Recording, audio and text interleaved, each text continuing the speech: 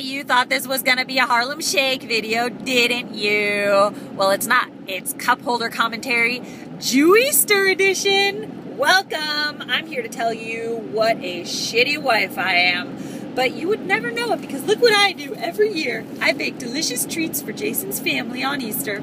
Anyway, I was reminded again last night uh, about what a shitty wife I am, and we're just gonna kind of talk like my husband isn't driving right now because he doesn't know that I know what a shitty wife I am.